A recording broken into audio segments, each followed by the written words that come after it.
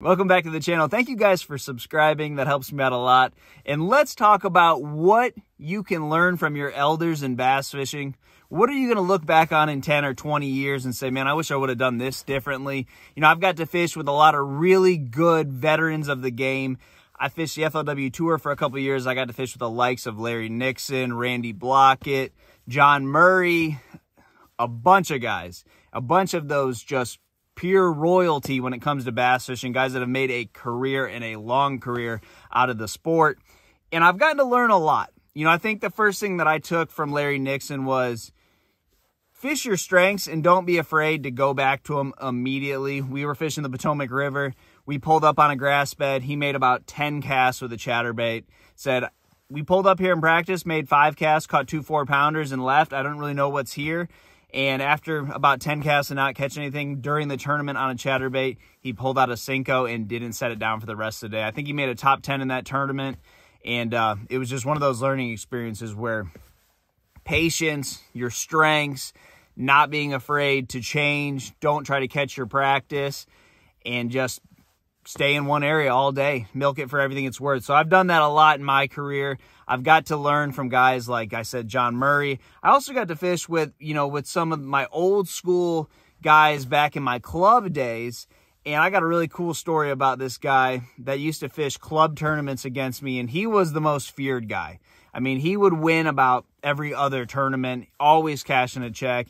And all he did was old school flip. You know, not the, the pitching style of today, but that old where you pull the line out, the old school style of flipping where you just drop the bait in. And this was down in Florida, so a flipping bite is pretty common down there. And he would just rule everything else out. Kept two flipping sticks in his boat and just flipped all day. And anyone that fished against this guy knows who I'm talking about. He just would crush everybody. And that was one of those things where it's like, let's not try to make this too complicated. Some days flipping is not going to work. But most days there is some type of flip and bite going on, especially when you're down in lakes like Florida where you have a lot of shallow grass, you have a lot of shallow water. Flipping is just one of those deals, but it was like one of those things where you could really take that philosophy to anywhere in the country. You know, if you were going to the Barren River or Cumberland or some of those places that are in are in, you know, Kentucky, East Tennessee, you can always fish a jig there. There's always fish that are going to bite a jig, no matter what time of the year. And you can do that on a lot of lakes. You can go to the Mississippi River and always catch them on a swim jig. And you see those older guys, they just know from experience that you can catch them doing one thing. You just got to figure out how to make it work. That really takes the puzzle and simplifies it. You know, you can make a hundred pieces out of a puzzle, or you can break it down into three or four pieces and put it together the same way. And that's something that I've learned from those older guys. You know, patience is is something that gets better the longer you've been doing it. You know, I always came into the sport thinking, when are these guys going to retire? When is Rick Clunn? When are, when are these guys going to give it up? Because there's not enough spots for the up and coming guys. When are they going to give it up? And one of my buddies told me, you know, what makes these guys so much better than they were, you know, obviously maybe their skills have have kind of degraded and things have kind of not been as good when it was in their 30s and 40s, but they've become more patient. And there's a lot to say about that. You know, this time of year in the pre-spawn, patience is probably my biggest asset. You know, when I find a group of fish, I know there's more than one there.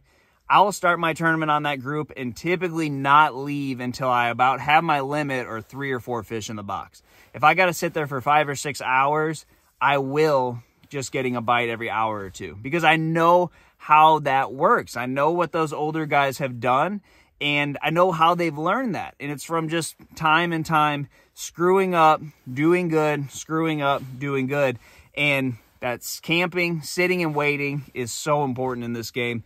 And when this water is cold like it is right now, it's hard to go and run all over the lake and figure it out because you're just not having a lot of actively feeding fish. So that's one thing I've taken from the older guys. There's a lot more that you can listen to those guys when they tell you things.